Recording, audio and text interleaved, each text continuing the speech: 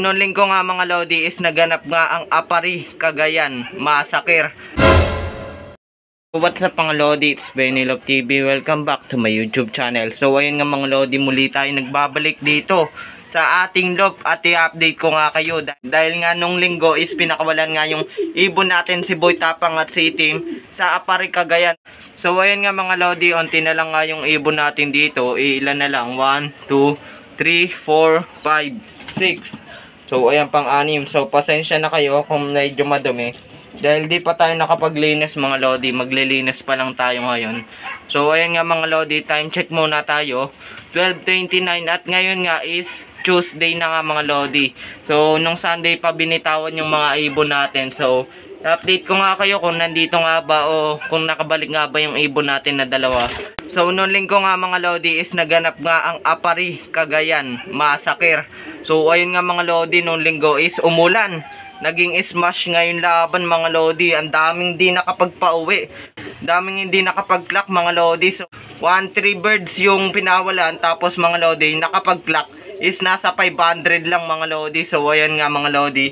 Ah, wait nga tayo dun dahil yung dalawa natin is ayun na nga mga Lodi. Hindi nga pinalad na makauwi dito sa loob. Kaya hindi ko mapakita sa inyo si Itim tapos si Boy Tapang dahil wala na nga sila mga Lodi na wala na nga dito sa loob.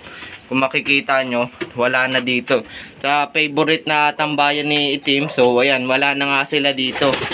So ito nga yung pula natin, nilagay na natin dito dahil kinalas na nga natin sila ng Eddie Noble natin mga Lodi. So ayan nga mga Lodi, balik tayo sa topic na kay Itim. So ayan nga, nung linggo nga is naganap yung Apari Cagayan Massacre nga mga Lodi. At ayun nga nawala na nga yung dalawa natin dahil nga sobrang smash mga Lodi. Anong oras na tumigil yung ulan siguro posible na naulan sila nabagyo sila dun sa dadaanan nila na basa bumagsak mga Lodi.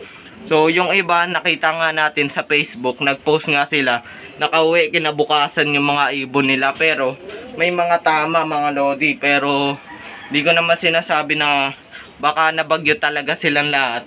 Kung may mga nakauwi pa din naman mga Lodi, pero yung dalawa nga natin is hindi na nga pinalad umuwi dahil nga, ayun nga mga Lodi, na-smash nga sila. So yung ibon natin na dalawa na nga yun mga Lodi is alam ko talaga na mahina yun sa smash mga Lodi. Sa mga tag-init yun pumapalo. So nagiging mabilis nga sila. Pag tag-init katulad nga ngayon is sobrang init. Sa ganyan sila mabilis mga Lodi. Pero pag smash, dun tayo baka nawawala na nga sila mga Lodi. Dahil nung ah, may pa 4 laps nga na palaro sa NHPC yung last lap mga Lodi ikaklak sana nila yon kaso nag-smash mga Lodi. See you tomorrow na nga mga Lodi. So ayan hindi nga nila kinaya. So nung apari nga din mga Lodi is wala na nga mga Lodi na smash nga din sila kaya expected ko na talaga yan pag umuulan mga Lodi. Posibleng hindi sila makauwi o hindi sila makapag-lock so ayan nga na pa rin masakir tayo. Pero move on na tayo mga Lodi dahil mayroon pa naman tayong ibon dito.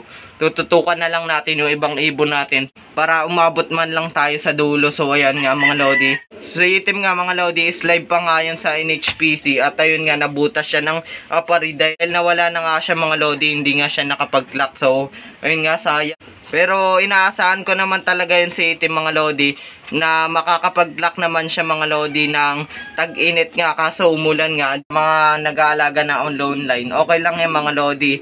Kung tatapos man ibon nyo keep nyo mga Lodi dahil okay naman yan kahit walang lahi is nakakaabot ng dulo. So si Boy Tapang nga mga Lodi sa ano line lang yun. At tumabot naman siya ng apari kaso nawala. Hanggang gataran nga lang yun na uwi niya mga Lodi. Pero ayos lang din naman niya mga Lodi.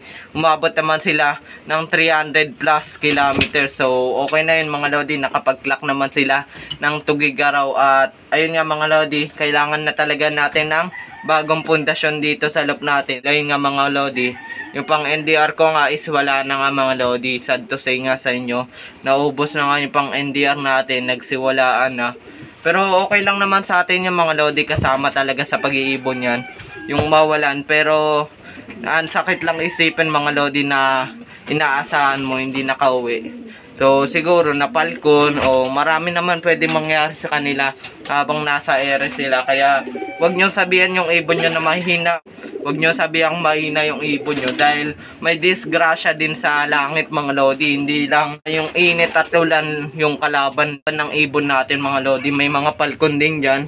So ayan, pag na sentro talaga yan ng Falcon, is check na makukuha talaga yan mga lodi. Kaya wag natin sisihin yung ibon natin na pangit ng ibon natin, di nakakauwi. Ayos lang yung mga lodi dahil di naman natin alam kung anong totoong nangyari sa kanila.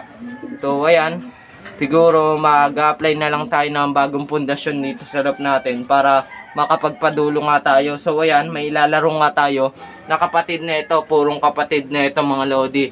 Ding Ventura line yung kapatid niyan mga lodi. Tatlo nga yung ilalaro natin na kapatid niyan sa summer race nga ng NHPC sa 2022. So ayan nga sila, nagpapahinga nga. ay, So ayan yung anak ng Ding Ventura natin, nagpapahinga sila ngayon. So ayan, tapos yung isa is nandun nga, ayan, dalawa. Tapos yung isa, inakay pa lang mga lodi, habol nga natin. So, ayan, maganda-gandang pundasyon yan kay Kuya Ding Bintura. Nabili natin yung magulang yan. So, tignan natin kung tatapos nga ba sila. Tatlo na yan nilalaro ko para masubukan talaga natin yung lahi ng Ding Bintura natin na galing kay Kuya Ding. So, ayan nga mga lodi, hindi nga nakauwi yung mga ibon natin. So, sobrang init dito sa loob natin. Kaya gusto ko palagyan ng steel matting dyan sa may likod para pumapasok yung hangin kasi sobrang init dito mga lodi. Kailangan talaga ng laging may tubig yung mga ibon natin baka ma-dehydrate nga mga lodi, baka mamatay. So ayan nga mga lodi, na umaasa pa rin naman tayo na uwian tayo ng ibon natin. So ayan, bawat umaga, sumisilip ako dito baka nakauwi na nga sila iti. O sila boy tapang nga mga lodi. So ayan, pero hindi, hindi tayo pinalad. Pero okay lang naman yung mga lodi, bawi na lang tayo next year. So sa team NHPC, see you next year na lang nga mga lodi. So thank you boy tapang NE team sa napakasayang pag-aabang ko mga lodi. So ayan, napasaya naman tayo ng mga ibon natin na yun. At sana makauwi nga sila kahit hindi na sila tumuloy ng Santa Ana Cagayan. At least makauwi lang sila. Okay na sa atin yun mga lodi. Finisher na nga lang. So ayan nga mga lodi, may naiwan pa naman sa atin na lain nilang dalawa. So si Istapa nga tatay ni Itim. So ayan, nandyan pa, nakatago lang natin tatay. Pero yung nanay ni Itim nandun na nga kay Kuya Ding Ventura. Tapos yung tatay nga ni Boy Tapang is ayan nga mga lodi, kung nakikita nyo, tatay yan ni Boy Tapang, ano online lang. Nabili ng natin ng kusaan saan yan, pang sitter nga lang mga lodi. Pero nabuhay nga natin si Boy Tapang. At ayun nga mga lodi, umabot nga ng gataran, nakauwi naman siya. So, di lang tayo pinalad sa apari na massacre nga tayo. Binagyo yung mga ibon natin, sayang. Pero, may tiwala naman tayo sa ibon natin. Tapos, ayan naman yung puti natin na umabot lang ng kabanatuan siguro. So, kasabayan nga din nila itim yan ng nilaro ko. Pero, hindi na nga natin tinuloy. Dahil nagawa na ay cold tapos napilay nga mga lodi. So, ayan nga mga lodi, 900 subscriber na nga tayo. At malapit na tayo mag 1k subscriber mga lodi. So, sana ma-hit natin yung 1k subscriber bago may December 25 at maiparapol na nga natin yung dalawang sponsor ni Sir Basti.